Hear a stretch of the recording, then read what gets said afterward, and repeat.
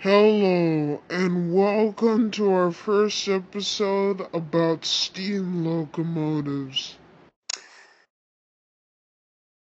The first locomotive we're going to start with is the Shay.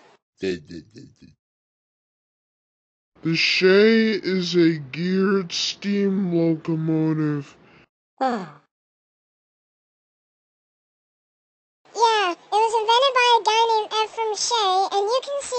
Shay carrying passengers. Well, that's all for today. Tune in next time.